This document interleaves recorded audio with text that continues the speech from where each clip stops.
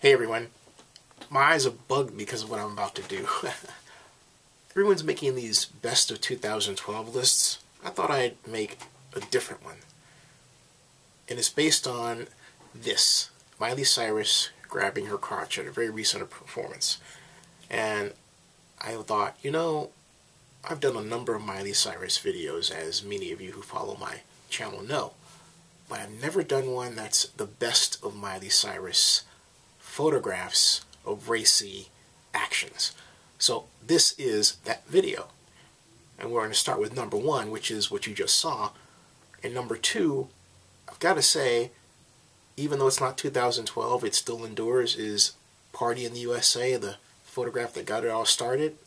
But then this year, Miley has really taken this racy, edgy, super sexy act to the next level now that she's legal and she's engaged to be married. As you can see by all these photographs. The only thing is, I'm not rocking the hairstyle because in order to pull this off, you've got to have a thin, chiseled face. And Miley has a cherubic face. I love her long hair. Or I should say loved because she doesn't have it right now.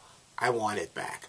So there's my best of. It's my best of Miley 2012 racy photographs. That's my best of. Uh, maybe I should throw this one in too. Alright. Happy New Year.